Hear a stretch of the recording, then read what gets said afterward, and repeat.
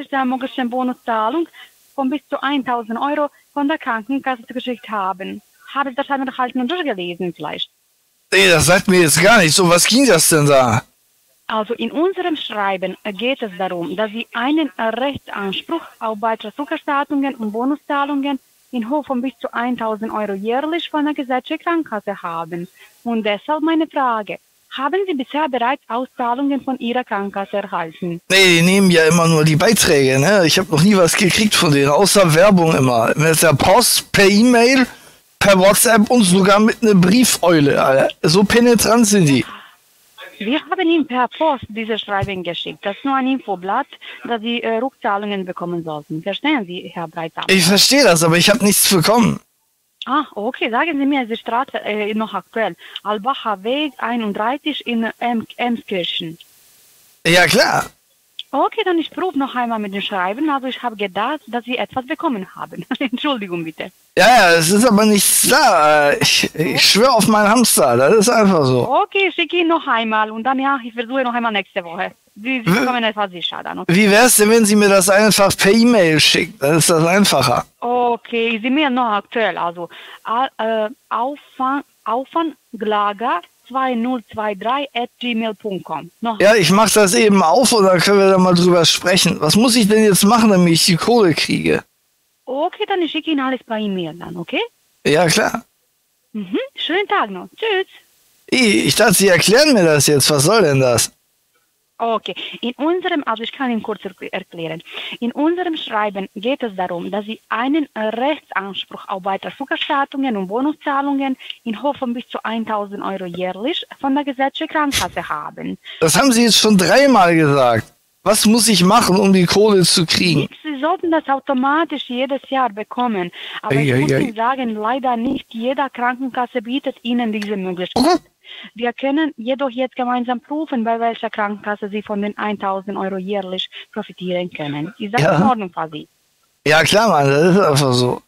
Okay, haben Sie jetzt äh, ein paar Minuten Zeit? Können Sie jetzt reden oder sind Sie unterwegs? Ja, alles gut, ich sitze in der Badewanne, ich habe Zeit. Okay, super, das freut mich zu hören. Okay, also, um Ihren Anspruch prüfen zu können und sicherzustellen, dass die Rückzahlungen und Bonuszahlungen für Sie verfügbar ist, also würde ich Ihnen gerne einige Fragen stellen. Darf ich? Na klar. Okay, also Sie sind doch nach wie vor noch gesetzlich versichert, richtig? Das ist korrekt. Okay, und sagen Sie mir, also äh, Herr Breitsamer, bei welcher Krankenkasse sind Sie denn aktuell versichert? Ich bin bei der Kai-Uwe Meierschen, das ist so eine Hamburger Gesellschaft hier. Sie meinen KKH? Genau, Kai-Uwe Meier, genau.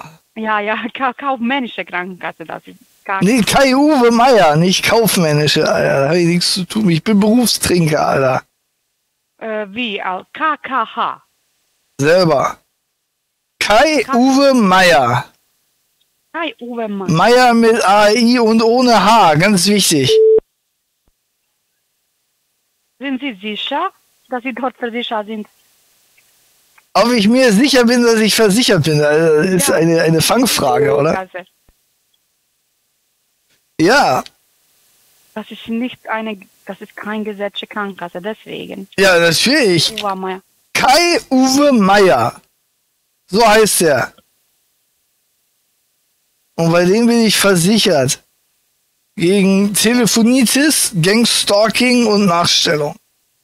Mhm, mhm. Und gibt es äh, vielleicht äh, ir- irgendwelche also, Kur Kurznamen wie KKH oder KH oder etwas? Äh, NPD heißt es. NPD. Ja.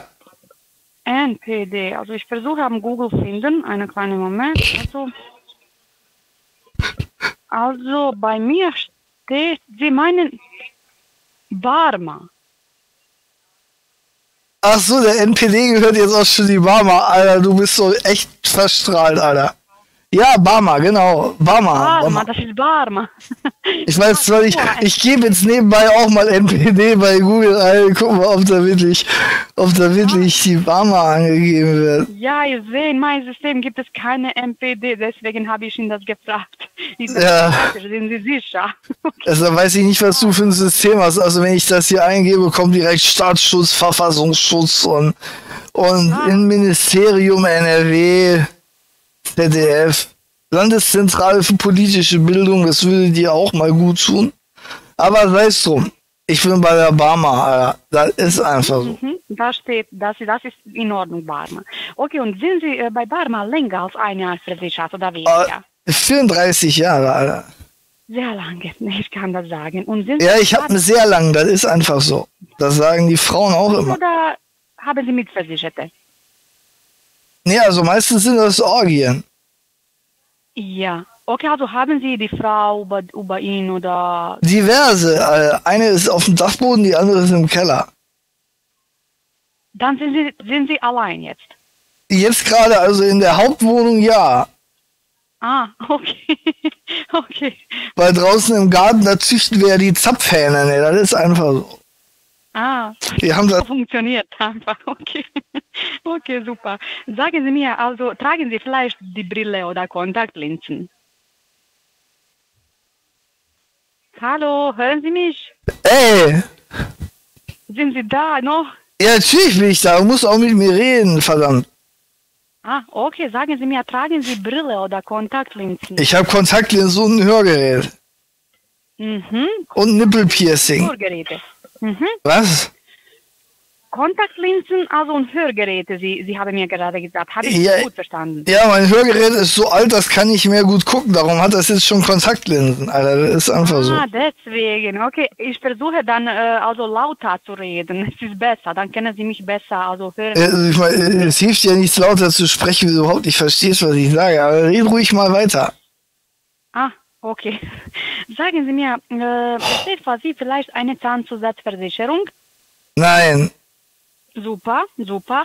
Und äh, leiden, leiden Sie vielleicht unter einer chronischen Krankheit, bei der Sie regelmäßig Medikamente einnehmen müssen? ja, ich habe Telefonitis.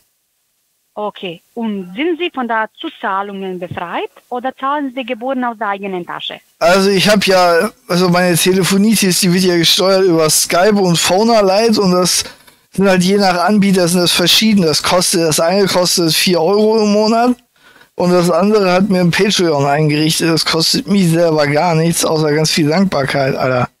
Mhm, mhm, mhm. Okay. Und leiden Sie vielleicht unter Rücken, Nacken oder Gelenkschmerzen? Ja, mein Klickfinger tut immer weh, ne? Ich, ich muss ja immer schneiden, rennen und hochladen. Das ist ja anstrengende Arbeit. Und vom ganzen Sitzen tut halt auch der, der Speckrücken weh, Alter. Das ist einfach so. Mhm, mhm. Sie haben auch Probleme mit dem Rücken, habe ich Ihnen das gut verstanden? Ja, ja, klar. Mhm, mhm. Okay, vermerke ich. Okay, also ich werde nun eingehend prüfen, ob wir den Bonus sowie weitere Vorteile für Sie abrufen können. Sagen Sie mir, Herr Breitsamer, äh, fallen Ihnen spezielle Punkte ein, die Ihnen besonders bei einer Krankenkasse wichtig sind? Meerschweinchen. Was ist für Sie wichtig? Meerschweinchen. Ah, nur das? Gibt es noch etwas? Nee, ich habe nur, ich habe keine anderen Haustiere. Ah, okay. Auf jeden Fall, ich denke, alles ist wichtig bei Krankenkasse und am wichtigsten ist, dass sie alles Kosten übernimmt und dass sie immer erreichbar sind, wenn sie etwas brauchen. Naja, das Viech sitzt den ganzen Tag im Käfig, wo soll das, ist immer erreichbar. Wo soll das denn hingehen? Wie meinen Sie das? Ja, die Meerschweinchen, also die sitzen hier im Käfig, die sind immer erreichbar. Äh, Ah, okay, okay. okay. Sagen Sie mir, also, äh, Sie haben mir gerade gesagt, dass Sie äh, Kontaktlinsen also äh, tragen. Habe ich Ihnen das gut verstanden? Ja, also sie brauchen scheinbar ein Hörgerät, Alter. Du fragst immer alles dreimal nach, was ist los mit dir? Ja, müssen Sie etwas bezahlen für die Kontaktlinsen? Also übernimmt Ihre Krankenkasse die Kosten? Nee, ich habe einen 3D-Drucker, ich mache die immer selber. Ja, Sie sollten von Gesetz der Krankenkasse für die Kontaktlinsen 400 Euro jährlich bekommen, dass Sie Bescheid wissen. Aber ich mache die doch selber. Also, Ihre Krankenkasse sollte diese Kosten übernehmen. Ich, ich muss Ihnen jetzt sagen, Also meine Arbeitszeit oder was? arbeiten Sie jetzt. Nein, ich mache die Kontaktlinsen selber. Ich habe einen 3D-Drucker. Da drucke ich mir die aus, Alter. Sind das Elfenaugen, mal sind das Drachenaugen. Und manchmal sehe ich aus wie Mimon Baraka. Ja, also ich habe Ihnen, äh, Herr Breitsmann, gesagt, nicht jeder Krankenkasse bietet Ihnen diese Möglichkeit, die ich Ihnen gerade erzählt habe. Verstehen Sie? Es gibt gesetzliche Krankenkasse, die die Kosten äh, übernimmt, die Ihnen gibt äh, 400 Euro für die Brille und es gibt gesetzliche Krankenkasse, die Ihnen gibt nur 50 Euro. Verstehen Sie? Es gibt 103 gesetzliche Krankenkasse und sie sind nicht gleich. Und deswegen sprechen wir heute mit Ihnen auf jeden Fall. Ach so. Aber wir müssen, ja, wir müssen erstmals wissen, welche Ansprüche Sie auch haben und welche Sachen Ihnen noch wichtig sind, damit wir Ihnen also helfen können. Verstehen Sie? Ja. Zum Beispiel, Sie haben mir auch gesagt, dass Sie Hörgeräte brauchen. Also haben Sie bis jetzt also das von Krankenkasse bekommen oder müssen Sie die Hörgeräte selber zahlen? Nee, ich habe das, ich hab das selber gedruckt. Ich habe einen 3D-Drucker zu Hause. 3D-Printer. Die ganze Kosten, Sie müssen selber zahlen. Nee, ich habe das selber gemacht. Selber gebaut. Homemade. Ah, das ist etwas anderes. Das, Sie haben das äh, selber äh, also gemacht. Ja, weil da gab's, ich weiß nicht, ob Sie den Film Jurassic Park geguckt haben. Da haben die mal die Resonanzkammer von so einem Velociraptor nachgedruckt. Und ich habe mir den Plan davon runtergeladen und habe einfach zwei Frösche aus dem Garten da reingesetzt. Dem kann ich wieder perfekt hören. Das ist einfach so. Ja. Ah, wie haben Sie, wie haben Sie das geschafft? Super. Ja, mit 3D-Drucker. Verdammte Axt nochmal. Ah, okay. Okay, also zum Beispiel, äh, ich muss Ihnen sagen, wenn Sie Hörgeräte brauchen, es gibt gesetzliche Krankenkassen, die die Kosten übernehmen bis zu 80 Prozent. Da Sie müssen nur einen kleinen Teil selber zahlen, circa 20 Prozent, dass Sie Bescheid wissen. Wenn die 80% zahlen und ich circa 20% bezahlen muss, wer zahlt dann den Rest? Ja. Aber ich Ich stelle Ihnen eine offene Frage und Sie antworten mit Ja. wie meinen Sie das? Ja, so wie ich das sage, Alter, was gibt's da nicht zu verstehen? Von wo rufst du denn an, Mädchen, sag mal? Für die Hörgeräte, Krankenkasse sollte bis zu 80 Prozent übernehmen. Und die andere Teil, Sie müssen selber zahlen. circa Hallo, Madame? 20%. Hallo? Verdammte Scheiße, jetzt wollte ich nach Ziegenversicherung fragen, da legt sie auf. Aber ich glaube, die hatte ich mit dem Inder schon mal dran. Da ist es klar, dass er gleich den Herzinfarkt bekommt.